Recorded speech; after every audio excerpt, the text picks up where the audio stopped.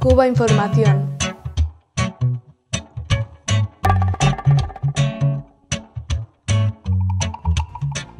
La denominación real de la llamada Ley Helms-Burton es Ley para la Libertad y la Solidaridad Democrática Cubanas. Resumiendo, Ley de la Libertad Cubana. Para garantizar esta libertad, esta ley codifica hasta el último detalle.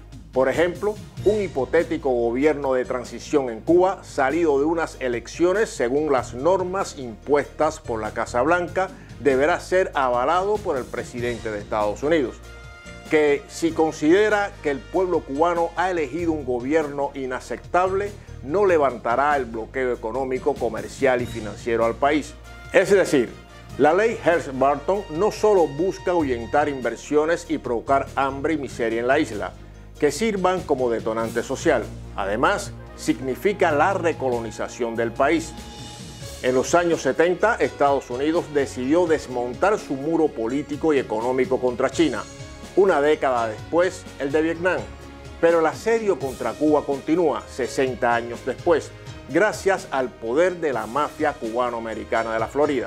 Mientras asistimos con perplejidad a una gran operación que impone en no pocos medios una perversa matriz de opinión, que el bloqueo no existe, que los problemas de Cuba son causados por la ineficiencia del socialismo. Y no, no se les cae la cara de vergüenza.